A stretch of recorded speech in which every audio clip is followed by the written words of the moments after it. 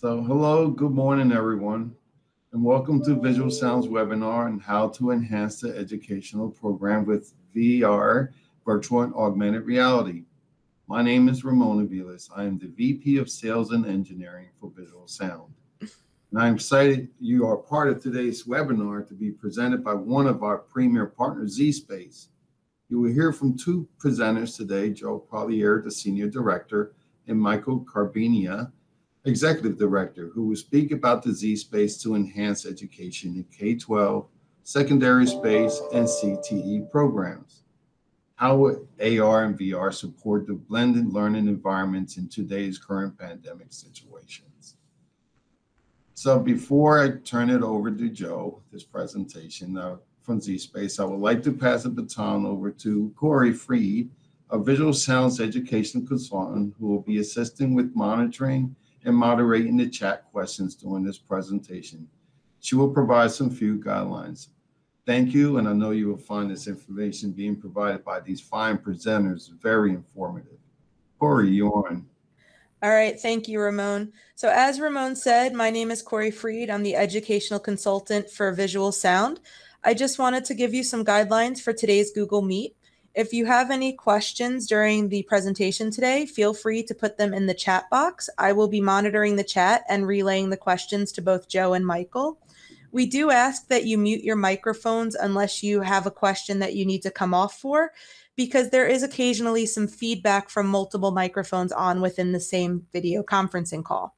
We are recording this webinar and it will be uploaded to our YouTube channel if I will be putting some links in the chat section for you so that you can get resources to both the sorry, for both the YouTube playlist and also our schedule of future webinars as we will be hosting more throughout the summer as we move into the upcoming school year. So with that, I am going to pass the baton to Michael and Joe and thank you all for attending today. Thank you, Corey. Thank you, Ramon. And um, welcome to this webinar today. We're excited to be here. Um, as Ramon said, Michael and I both represent zSpace, and um, we are sort of in a unique position in that we get to work in the technology sector, but both of us spent most of our careers in the places where you all are as um, school leaders, district leaders in the South, if you couldn't tell from my um, my accent here. But I'm located in Nashville, Tennessee, and uh, Michael's in the Orlando, Florida area. And we get to travel the United States working with school district leaders like you all, um, really exploring how is it that this space, the space in which kids are so familiar because that's where they game and do a lot of their activities, um, how can it be leveraged and that same level of excitement and engagement that kids have in the gaming space for purposes of teaching and learning. And as you know, um, probably better than we do, um, we had a lot of success across the United States over the last four to five years as this space evolved. But in March, we had this sudden screeching halt that really challenged us to move beyond the brick and mortar and explore okay what how can it be leveraged for um, use at school in brick and mortar, more traditional means, but also um, how can we now let kids do things that would otherwise, in some cases, be impossible to do, experience things because now maybe they're having to work and learn in a remote environment. So, what we're going to do today is we're going to explore what that can look like in both the STEM areas as well as career and technical education. Um, as Corey said, she's going to be monitoring the chat. So I would encourage you as we go through the next um, 45 minutes together to um, use that chat feature. And Michael and I both have stood before many, many faculties, and we're used to having those questions asked and being able to respond to them. So we'd love to, to answer any specific questions that you all have throughout the presentation. Uh, what I'd like to do first, though, is go over what our agenda for today is going to be. Um, we plan to start by really exploring what is AR and VR. We want to make sure that we level set on the webinar with our group understanding of what these spaces are. like I said, it's a continuing, continually evolving area. So um, even some of the definitions that we used a few months ago are different today. And I fully anticipate that they'll change and evolve more in the future. Uh, we're going to look at how are they being used in the career and technical education as well as STEM fields. And then we want to give you an overview um, to look specifically at how this type of technology and content can impact the courses of study that are offered in your elementary, middle, secondary, high school, as well as post-secondary um, areas.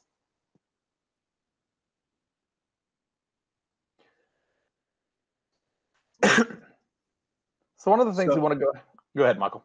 Oh, I was going to say, um, I was at the so again, thank you for joining us today. Uh, my name is Michael Carbini. I'm the executive director of uh, career and technical education, and just like Joe, uh, my most recent stop before joining zSpace was down in St. Lucie, Florida, South Florida, of a school district of about 38 to 40,000, where I had 62 career academies. Uh, so that's where we, um, where I've been in the in the space before joining. So one of the things, though, with that is always at the end of the day, uh, it comes down to dollars and cents. And we understand that because Joe and I have uh, personally managed all these various budgets. And we like to be upfront with everybody and transparent. And that everything you're going to see today is a uh, this is a set of allowable activities. This is actually published by the Wallace Foundation that some of you may be familiar with. It's an educational um, think tank, but they really do a good job of drilling down on legislation and letting you know what is allowable. So uh, with we the most recently uh, shared out CARES Act, what we like to do is let you know where zSpace falls into that. So you know right off the bat with anything you get excited about seeing today, that you'll know that it is eligible for all forms of federal spending, whether it's Title One, Two, Three, Four, or it's going to be Perkins or CARES Act. You'll see here where the pluses are that we are uh, eligible for those obvious reasons. So uh, the easiest one is going to be, of course, the purchasing of educational technology for students. And uh, that's just something we like to put out out front. If you have deeper questions about how to access or what your, your area is doing, that's a, a separate offline conversation I'm happy to have with you. And Joe and I can help you navigate that area um, if those are areas that you would like assistance. So now that we've got that elephant sort of addressed, because it's always the one in the room as you explore any new technology, um, let's really step back from a specific product, that being zSpace that we'll talk about today, and let's do a survey of this technology landscape. When you hear all of these acronyms, VR, AR, you may have even heard XR or MR.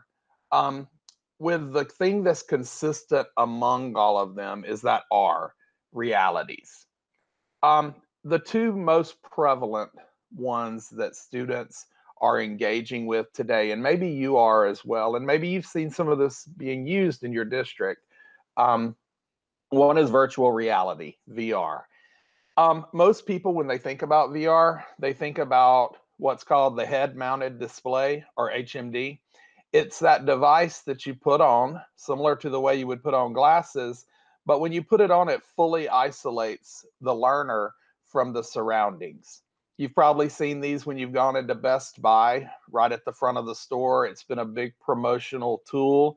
Or maybe even when you upgraded your cell phone, they offered to bundle an HMD with your purchase.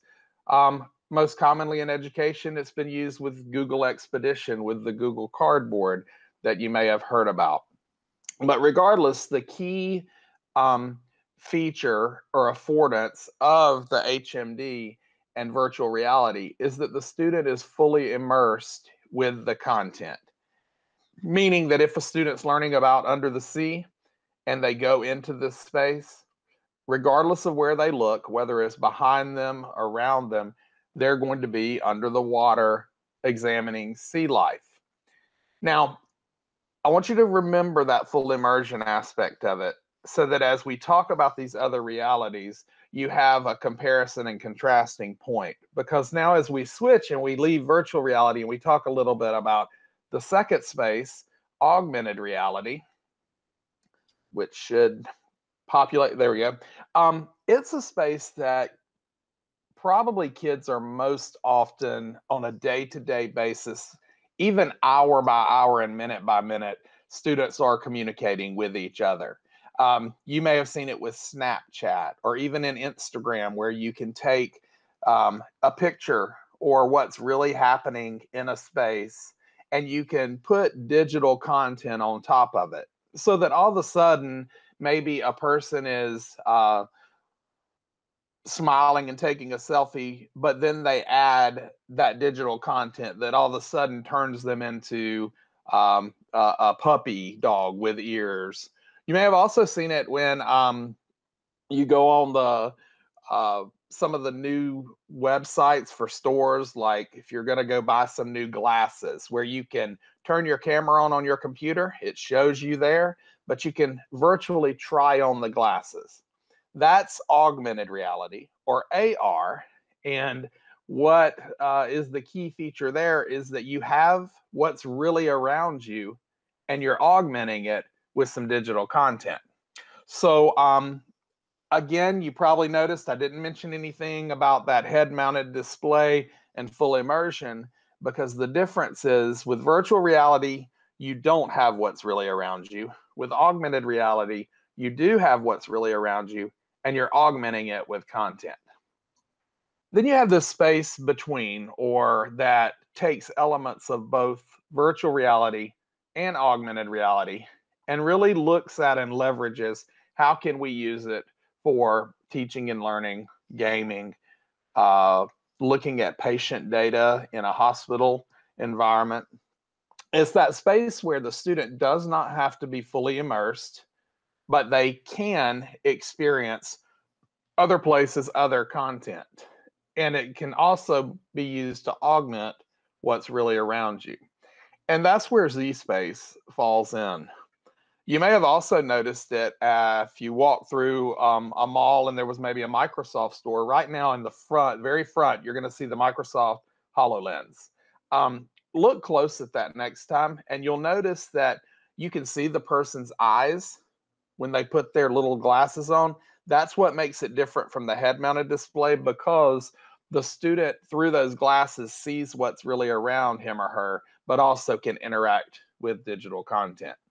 So we have this technology landscape that um, can be represent content in different ways. And what we want to do now is really peel back the layers and look at what is zSpace specifically.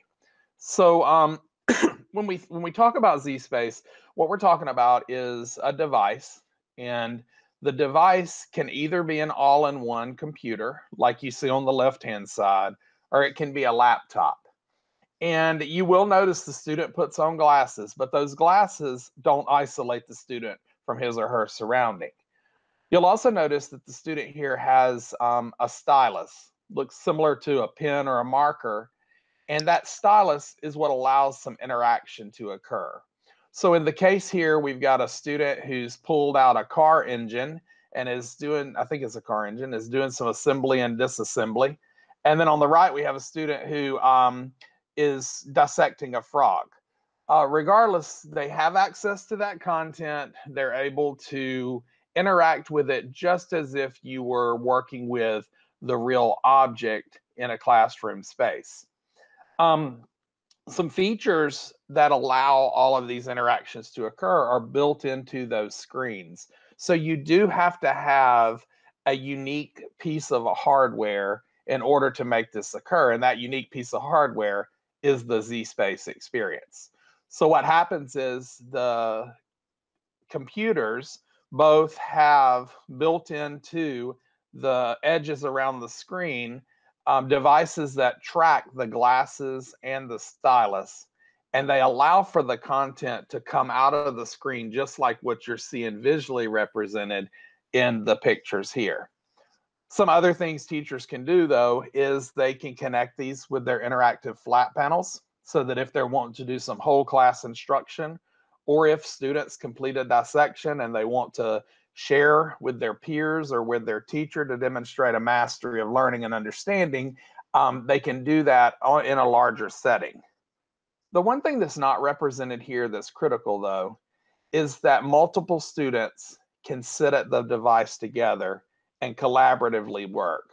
So if the young man on the left side and I wanted to work on a car engine to talk about what we were doing, just as we would in the workforce, then I could put on a pair of glasses as well and I could observe what's happening. We could dialogue about it and work through it. Now, I point that out because we all know that as we look at those 21st century skills for learning, that collaboration rises to the top. And that that's a key affordance that not only helps kids learn in the classroom, but prepares them for the workforce in which they're going to go. I also pointed out as a real um, talking point around the difference in a head mounted display versus a device like zSpace where you can collaborate. So, what does this mean for the problem we're trying to solve? Well, we know that we um, hit a pivotal point in education that for many of us we're trying to figure out now um, but most districts are in this pro are working through this problem of what does school look like in the fall? And we know the language that's been around with blended learning previously. You may be hearing the term hybrid learning. Um, what we want to do is sort of peel back the layers of that and say okay on a continuum where on the left you have face-to-face instruction on the right, you have pure distance education instruction. Um, what are all the components that fall on that continuum? And how does a tool that uses AR, VR like zSpace um, fit into all of those scenarios? So if you're really peeling through and thinking about blended learning in your district, um, feel free to check out our website. Um, on our educator educator resources page, you'll not only find the blended learning strategies, but you'll find short videos showing kids and teachers using zSpace to incorporate um, into those strategies. So once you've selected the type of device you're going to use, then obviously you choose the content. And although these icons are fairly small, what I really want to, to point to here is that it's a wide breadth of application um, everything from elementary through medical school. It's not just science and math. There's also social studies content where students can go to uh, the Globe Theater, take it apart, and learn about it. Um, art, there's an application called Leopoly where kids can sculpt, and ultimately, if they want a 3D print, they can do that. Um, coding uh, with BlocksCAD uh, you may have heard of Tinkercad, where the kids are able to do some creation. I like to challenge people to think about zSpace a lot like you would have thought about a uh, one-to-one student iPad tablet device uh, eight, nine, ten years ago. You have the device, but then you select the applications you want to use based on what your implementation is going to look like and then based on what applications you use um, that's how you make your decision about which applications that you're going to buy but again cutting across all areas um, cutting across all grade level bands to enhance the, your stem programs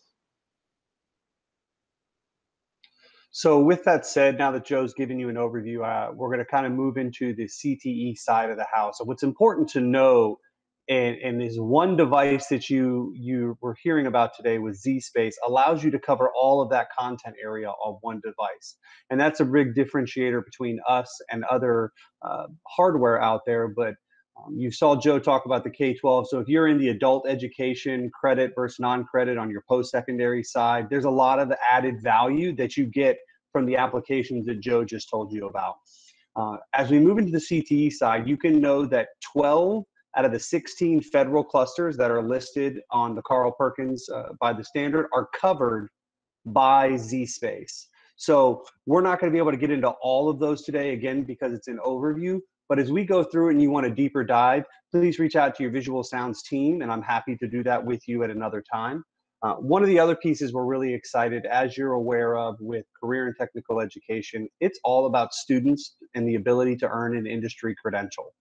So we have partnered with Nocti, and we are in fact the only AR VR product that is endorsed by Nocti as an organization.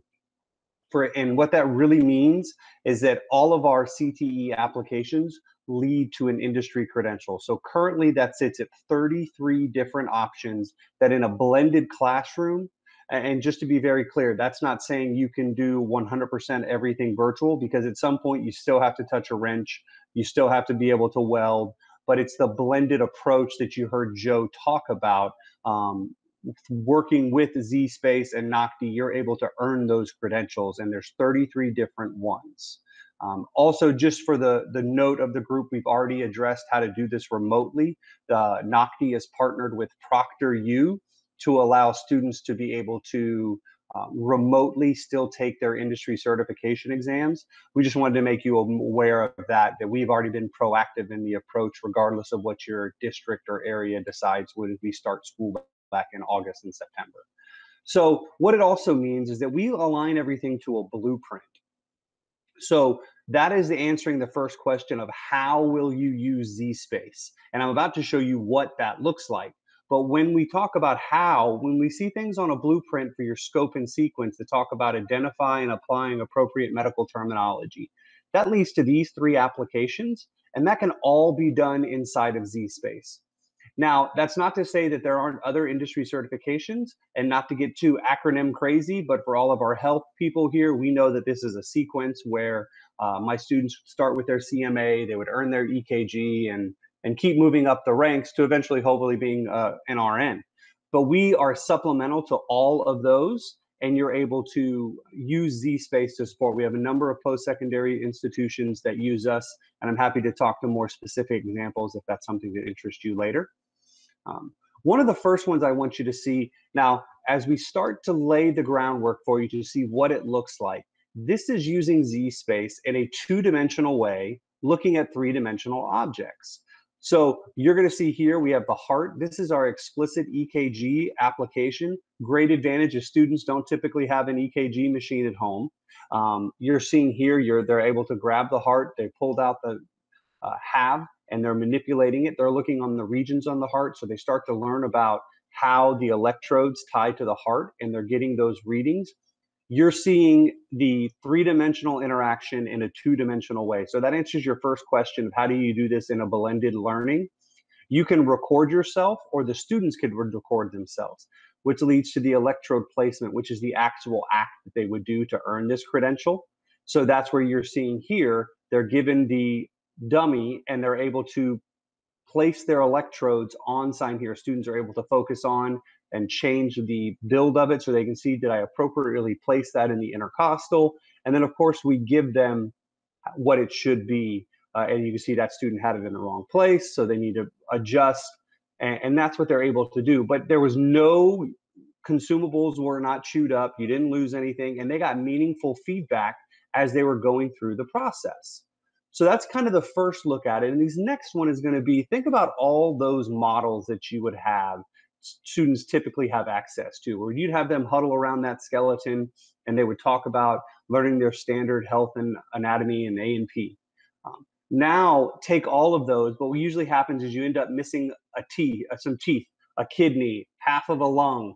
None of that's able to, you know, you're not going to lose anything in a virtual setting. So what that really looks like, and again, showing you this is a, for instance, this is used in a dental program, but it could be um, used in, and again, a biomedical or a wide variety of programs in the health. So just to give you an idea of what this looks like, again, two dimensional, I'm going to show you what it, the best we can, what it would be like when you put on those glasses and it comes out. But as they click on the book, it's going to give them their medical terminology and it's going to be able to talk to that specific piece. You can go to the systems and you can add the systems and see how the nervous system impacts that blood flow for the teeth. You can also go in and take a very physiology approach and really focus in on just teaching this element. And then, okay, medical terminology is throughout the entire application. Um, this is one of our most popular applications uh, across all levels. And you're seeing here, you're getting access to things that students would definitely would not have access to in a room, you know in their home if you're doing this blended. And then in this new world, you're typically losing a lot of time setting up and worrying about that. There's, you know, it allows you to be able to do this in its own self contained way. So, again, that is three-dimensionally viewing it in a two-dimensional way. So think if you have a Canvas system or Blackboard or Schoology, um, you're able to record these. And a great example of this is down in Texas, actually. Um, we have a school district who the teachers all have the laptop. They're recording all of their lessons right now like this. That way, when they come back in August, it's already all built on their Canvas system. And then they're going to be able to teach remotely. They've already decided they're going to go to AB days. So that's something that just another example of a really great district doing it. We do have many, many lessons that just so you're aware, this is on zspace.com. So you it, there's no paywall, there's no you got to sign up. You can just go to zspace.com and you can see all of these lessons so you know the breadth and depth that it goes into. Um, now, what I want to try to do is really set the stage for you in using this. This is one of our head trainers and head CTE specialists. Her name is Nikki Lester. And we're going to show you what it's like to use something called ZView. Now, this is where it could be done live on Google Hangouts or Zoom or, or Microsoft Teams, the platforms that do exist now. But what you're going to see here is her rotate between 2D and augmented reality. So if we go back to the beginning, you remember what Joe said, you're going to get a chance to see that. Hello, today we are going to cover a little bit of human body atlas and some information on carpal tunnel through one of our models just so that you can see what it looks like in a 2D and augmented type of view during a recording if technology is not available for students to actually work with, but maybe for the instructor to have available. So to get here, we're going to open Human Body Atlas, which I've already done, and I'm going to open up my menu. Under my 3D models, I'm going to go ahead and select the muscular system view, and I'm going to go under the wrist and hand. Now, notice this is a 2D view, and the reason that we're going to do that is we're going to flip through a few things that can actually be looked at here. Uh, and one of those would be going ahead and selecting particular areas because how do we know where carpal tunnel affects the wrist and the hand? So by going ahead and selecting some different areas, I'm just going to kind of explore. And in here, I went ahead and selected the abductor pollicis brevis. So I can get the uh, the wording or the exact pronunciation to be read to me based on the sound if I have external speakers or headphones on. I then can go ahead and click on the book icon, which will give me the full definition of the abductor, abductor pollicis brevis. Now, down here, how do I know it's affected by carpal tunnel? Well, I do have a patho with a little stethoscope that covers some of the common ailments that go along with the abductor pollicis brevis, one of those being carpal tunnel syndrome, and I can actually read through that full definition. I can do that and I can see different areas and see where those areas, if affected or not by carpal tunnel, and there goes carpal tunnel there. There also goes carpal tunnel at some of the band areas. The flexor retinaculum, which also has carpal tunnel, and the extensor retinaculum. So all of the above, but for this activity, we're gonna go ahead and select the abductor, abductor pollicis brevis, and we wanna do a deeper dive. So we're gonna go ahead and explore the muscle, and we're gonna open up one of our animated views. Now I'm going to go ahead and jump into Z view so that you can see in here how the flexation of that hand works. And again, we still got the capabilities to select um, some of the areas, but if you're looking on screen, you no longer see those. The focus of this and being able to show this model is how to really look at up close and personal and be able to further discuss how the abductor pollicis brevis can be affected by the carpal tunnel in conjunction with some of the other areas like the flexor retinaculum, etc. So then we can go ahead and flip out of Z view and it will take us back into the regular view where we now can see that definition again. So today just a little bit of information on how to be able to jump between 2D and the augmented view, especially if you have to do a recording or be able to see in a version where you do not have access to the technology right in front of you. Thank you. So as we move through, that's the first look at what ZView would be. Now remember, if you had had our glasses on, you were sitting in front of us, you would have seen that come off the screen in your own real time in front of you. At, and that's the, the environment you would get because, you know, we are talking about using a mixed reality AR and VR platform. But what's important to note is that process you just saw, we can do that through all of our applications. And due to time today, we're going to, you know, I want to leave time for questions. We're going to accelerate through some things. And I want to mention again, we will have, we're happy to do a deeper dive with you on any of these content areas that you may want because we have many applications that we're not going to be able to cover today. But the same principle that you just saw Nikki go through is available with all of our CTE applications. So as we move into the automotive technician, Again, you're going to see the blueprint. Um, but that's not to say chances are your program are probably working on their ASE certification through NATEF. Um, those organizations have, have, blended together now. This is just an example of some task sheets that you would get and the students would get. So having them do that in this new world is going to be really, really challenging. However, doing it through zSpace is completely possible. And we've got a great system that allows them to gain access to all of these parts of the vehicle that they wouldn't. Um, now, just to be clear, ours is designed for light gas right now. Uh, we do not have body because typically automotive programs are split. We do have, as you can see on here, what the body of it is, but that's really just a definition of the body of a car. It's not actual body shop um, where somebody would be working on the structure of the vehicle. That's forthcoming, but right now it's about what makes the car move and the gas industry certifications A1 through A6. So you're seeing this application. This is called Auto Expert where the real value here is you can take existing content because I'm sure your instructors have uh, something like CDX or Electude or something they've done with Pearson or GW. These are great, great products and they give you PowerPoints for 180 days of instruction. Now imagine taking those and adding models to them instead of having your students stand around them like they used to do, where these are static items, they're not going to move. That could be very dangerous you can now do those in a virtual sense. So whether you're teaching the starter or you're going through it, you're able to do it and put those PowerPoints over top of it.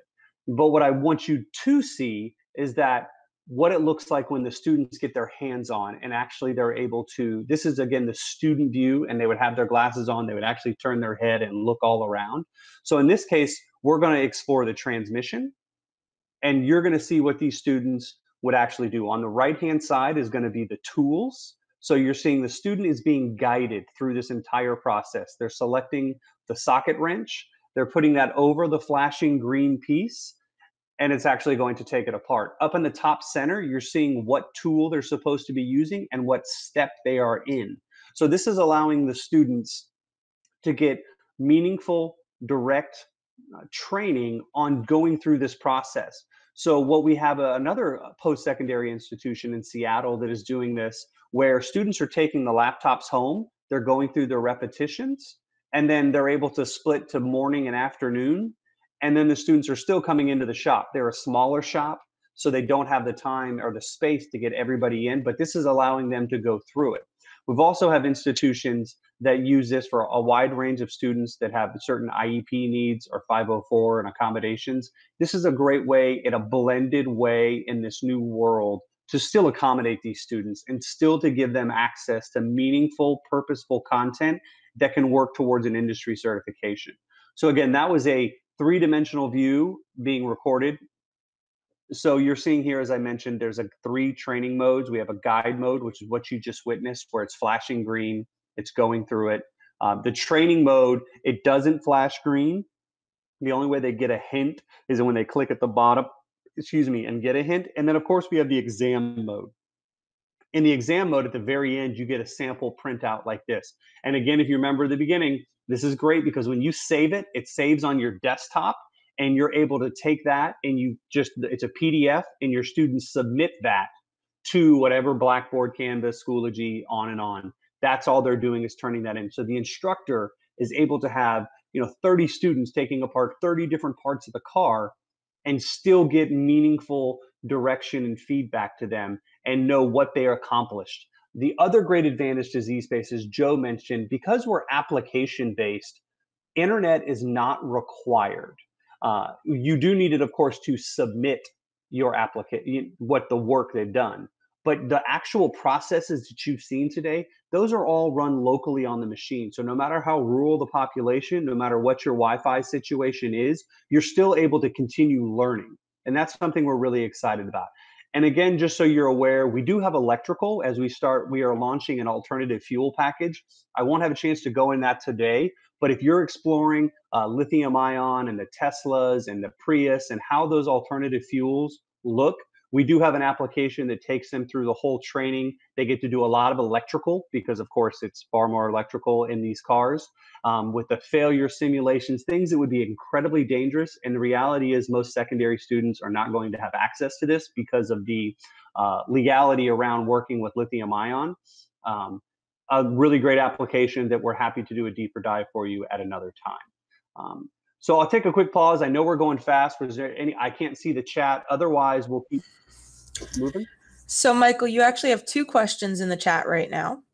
The first question is What's the most common challenge for implementing AR, VR, and MR in a classroom? Do you think it's funding, space, or something else entirely? Oh, that's, uh, I think what I've seen is in just being really candid in the CTE world, um, the teachers really want to embrace the technology or they're just not comfortable with it. So it's a weird way of trying to get them excited to understand we're not trying to replace you. You know, I think the CTE teachers take automotive. Um, they initially will see that technology as a way to uh, phase them out and really making them feel comfortable. So it's not that it's a hurdle, but it's a conversation that certainly needs to happen at times. That's probably been the most common. It's never the students. It's never the students. They're so comfortable with this. Um, but just as you saw Nikki, um, Nikki is also a former uh, military diesel mechanic. And then our head trainer for health is a former, um, uh, she's still an adjunct professor for uh, Wichita State in the RN program. So we've been really focused on making sure that people that are teaching you how to use this actually are just like you and their peers. So you can, you know, really feel confident going into it. I hope that helps answer that question. All right. So the next question was How would this look in a virtual school? So you did talk about blended a little bit. That question was posted earlier, but if you can elaborate, please. Yeah. So in a virtual shooting, I think the biggest hurdle that you'd have to talk about is you're going to want to send these laptops to students. However, I know in Florida, uh, our virtual schools still have a school center that they come in to do labs and those variety. So um, we have worked with virtual schools. Uh, I'm not the expert on that one. I, I, would best save that for a second conversation. But um, we do have people that send these laptops home because you could dissect a a cow, a fetal pig, a frog. You know, you can do the human body, you can take apart a car, robots. You can just send the device, and they're able to do it. And we provide CDC cleaning guidelines we do have a number of programs that are doing that. That's actually better for Joe, and I, I think we'd great to set that conversation offline. But uh, that is very popular and growing. All right. And the last question currently in the chat section What technology is being used to track the stylus and glasses? Is it IR? So it, there, it is infrared. Um, that is the zSpace technology. It's a series of six cameras that, as, you, as Joe mentioned, the head mounted display uh, it's reverse engineered inside of the hardware. And actually, if you if you really it's stereoscopics to get really geeky. If you go to zspace.com, you'll see right in the top left hand side it says technology, and it will explain all of our technology because we use a series of passive glasses. Um, it was really designed to allow long use of, of AR and VR at a time. But yes, um, infrared is one of the other features that is a part of it. But that's actually all available on our website. We don't hide it. Uh, if you go to zspace.com and click technology, you'll see that. Great question. All right. So that was it for the chat section right now, but I have a follow up question to your answer for that last one. You mentioned that it's designed for that long term use, but I know there are a lot of VR products that say if you're under 13, don't go mm-hmm. more than a half hour. So is. zSpace something that the primary grades can use for a longer period of time, or do you still say like try to limit it to a half hour at a time? Yeah, uh, that's a great question. And remember the big difference between us and the head mounted display because you're absolutely right. Uh, Oculus, HTC Vive, they all literally explicitly tell you not to do longevity because if you just think about the technology, that's literally a screen dead in front of your face. Um, whereas because zSpace uses a our glasses, there's actually no technology sitting, you know, an inch away from your face. Um, so that's something that was that's also by our design. Of course, we still recommend that this is not you know you don't do this every day of every minute of uh, of what's going on in classrooms as well but this is still a traditional laptop It is a zSpace laptop that runs windows so you're still going to have them access the great advantage us is you just put on those glasses so um, yeah no that's a great question and it's a complete uh, completely accurate All right, so that's it so far in the chat section. If anyone else has any questions, please feel free to include them, and we will make sure that Michael and Joe answer them. Awesome. And this next section is going to go really fast, and I know it's popular. So again, uh, I we love doing these. We're happy to have these con- continued conversations with you. Uh, we break our manufacturing bundles uh, into kind of chunks where we know the core fundamentals of mechanical, fluid, and pneumatics. Whether you're a VEX program or your FIRST robotics or you're working on standard uh, pre-engineering or mechatronics, these are core fundamentals. I mean, I, I, personally have overseen these programs, so we really, really know this is a, a, a, content area that's very close to me. However, we know that not everybody gets into the full robotics, automation, PLC, uh, logistics. So we separate the two. And what that looks like again with the blueprint is depending on if you're doing a more CAD based program, we do a lot of developing, testing, redesigning, prototyping. A great example is down the University of North Texas and their textile program. They do almost all their prototyping in zSpace because, again, you're able to take a three dimensional object that you're viewing on a two dimensional plane and actually see it. So when it goes into zSpace, you can pick it up and manipulate it and turn it around and rotate your head and see it and that's a really great case. I'm happy to talk more about that at another time. Um, but as you'll see here with mechatronics, things like lock in and lock out, tag in, all the standards, um, you can do all of those in zSpace. So we give you all the fundamentals. These are going to be your widgets and connections, supporting parts.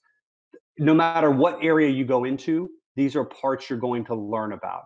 So um, again, what that looks like in 30 seconds is taking something very simple like a planar four bar, where the principle you're going to see it move. Students will not typically have access to this. So, simple machines, Project Lead the Way. It's a very great, strong complement to all of those programs. You get to see it. But what I one of my favorites is the diagram because you start to see the math. So to see the importance of the geometry. Here it's talking about dead center and what the value of that when in the engineering process. And that's something that would be impossible for a student to see if they didn't have virtual reality to allow that to do it. Uh, so that's a really popular application for us. Of course, once they understand all the pieces and parts and how those work, we want to give them that hands-on. That's our theme. So they take the hands-on component. Um, we give them a schematic, and after they've learned about the schematic, we give them the opportunity to build a hydraulic system. So it could be hydraulics or fluid. Now, highly unlikely students are going to have access to this at home.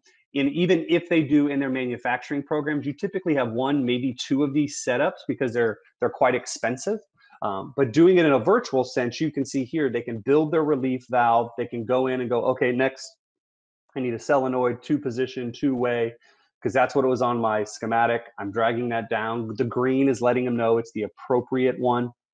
Of course, it's going to have to have an actuator that allows them to uh, to move what the what they're actuating and moving, and then the accessory, the T joint.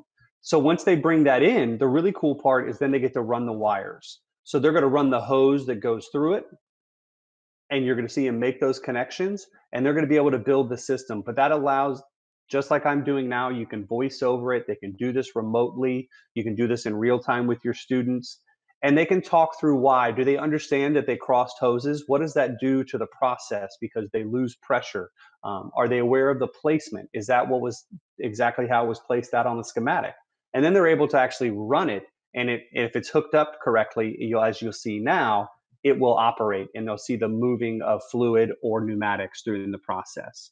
So that's a really popular application for us. And then, of course, that all leads itself into the robotics or logistics, uh, PLCs. We have that as well, where um, the robotics that are in the industry, whether it's a FANUC or a Festo or a KUKA, all of those are operated by a combination of pneumatics and um, hydraulics. So this is where we teach them all the components of that. Uh, one of my favorite ones is Cometic accesses because this is typically impossible for somebody to see.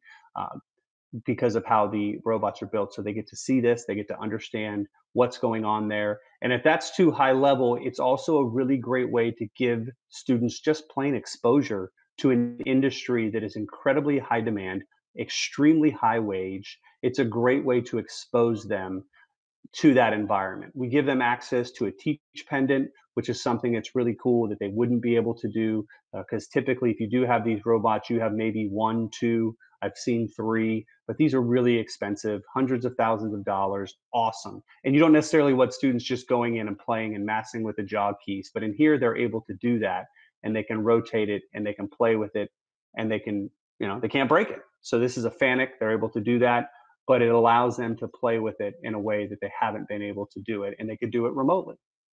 Um, they also have the ability to take apart the brain, so they can strip down the motherboard, they can replace the fan, they can work through all the components of the uh, the HMI or the head component, something you would not want them to do.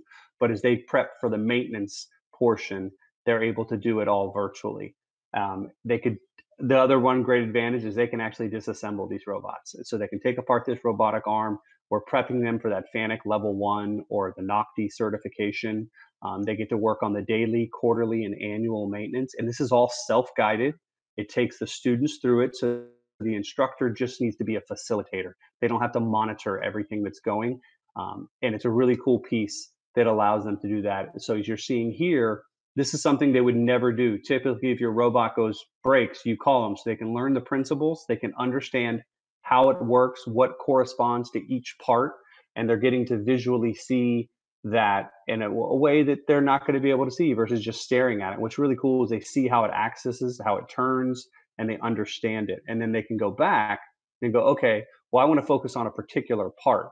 So then they can just look at the total display, or you can see here, they can focus in on one part. They can pick up that part. They can see how the servo interacts with it things that they would not you're not going to have them do one because the weight and the danger of this. Um, and then of course you get to the disassembling part where then now they get to take this apart. So you think about exposure you think about prepping them for the industry. This is something that they can't break but it's on par with what a real career high demand highway and we're we have the industry credential with them and the partnership to do it. Um, and again that's just a still of what that looks like in that process finally, I want to show you the one that's going to be coming out, uh, a few things that are coming just so as we, oh, that's got some, so that's got some bad sound, sorry about the feedback. Um, but what they're able to see here, this is for our PLC programming. So students are going to be able to completely build the entire factory all inside of a zSpace. Now, this is something that most schools of all shapes and sizes, they have one static, maybe two sets of a chain conveyor, but they'll have access to a palletizer, a box selector. So whether um, you're a distribution center is Amazon or Walmart, you have it here for them. And that's what they're going to get a chance to see here. Um, this is always a, a much deeper conversation than we had time for. So I just wanted you to know that that is also available, and that's what you're seeing here as they go through it. Um, the students will have access to this PLC. They can build it from scratch, or we give them their own system. Um, I'll go. Uh, yeah, we're coming up on time. I know we wanted to leave enough time for questions. Is there any questions? So right now there are no more questions in the chat box, but ladies and gentlemen, please feel free to type any questions in you have. Michael and Joe are full of knowledge and they're here to answer those questions for you. Awesome. Um, just so again, go ahead. I heard. Question. Hey, Yep. So I looked at the robotic model and some of these models in there, are there any that you specifically model after like a specific brand, Boeing or anything, so you get certified on a specific model versus a generic model?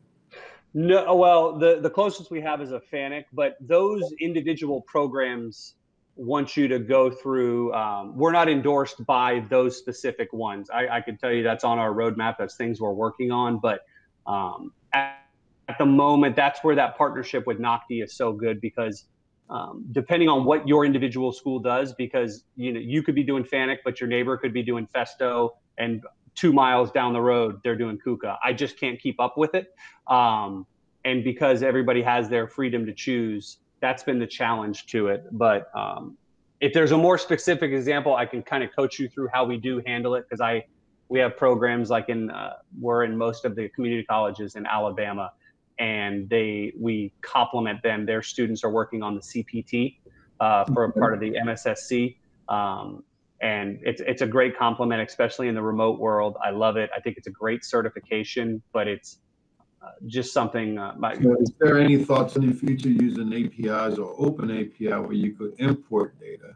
you can. That's already there. So you can bring in any of your API. Our HMI will allow you to bring in any of your code, and you can you can do whatever you want. You can go both directions. That Okay. is by. Yep. Yep. Great question. That is by design. Yep. Thank you. So that powerful question, and just so you know, I want to everywhere we are finishing up HVAC. This will be uh, in construction, so those will all be available August first. I think I'm going to show you a little bit of um, construction because this is just one that I love.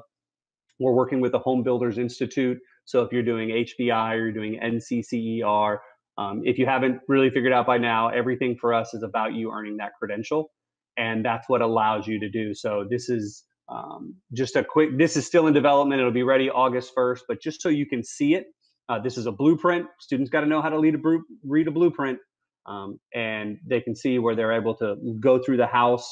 Um, and it's the same process, whether it's HVAC, they're running, you know, here you can see the subfloor. So a few pieces we're working on. Obviously, we're down in the south. We don't do subfloors. We do concrete blocks. So there's just a few pieces that we're working on. The curriculum is all coming from HBI, but of course it will support you know industries as a whole that you're working on.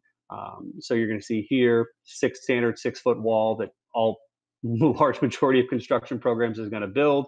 They're going to have access to that. They're going to be able to take it apart and go from there. So you're seeing all of that right now. This will all be in Z Z spacified, where you'll be able to see this and bring it to life and, and turn your head around, look underneath it, and build it. Uh, if you want to see the here's the furring strips. Here's how the furring strips go on with the insulation, and um, you're able to see all that. So um, that's forthcoming very soon. And between this HVAC, um, I think somebody had mentioned about the computer science piece. Just so you know, this is all So if you have a computer science program that you want to work on AR or VR, you have to make a commitment to hardware. It doesn't matter what hard it's a requirement. So um, we, if it's us, we'd love that. All of our APKs, Unreal Engine, all of our SDK packs are available.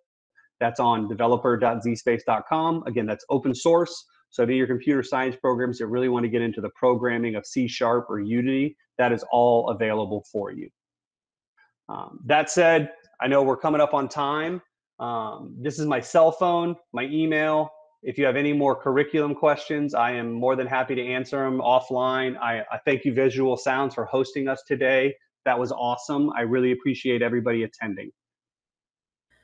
Thank you guys so much for presenting. We got a lot of great information. Uh, for all the people who are currently attending, we just want to let you know Visual Sound does offer professional development. So if you were to be purchasing zSpaces for your school, we can come out and make sure your teachers are comfortable with how to use it. We could talk curriculum, talk pedagogy, all of that type of stuff. So please feel free to reach out with questions. If we don't have the answer, we will definitely reach out to Michael. I am not a CTE expert, but he is, and that's what we're here for. We partner together, we work together, and we're going to make sure that your schools succeed.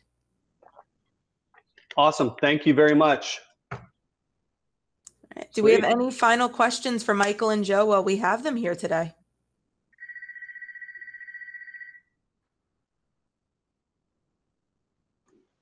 Thank you all very much. All right. Well, thank you all for attending. We appreciate your time. If you do have any questions that come up after this webinar is over, don't hesitate to reach out. And again, thank you all for coming. Thank you, Joe, Michael. All right. Take care. Thank Thank you. All right. Bye bye.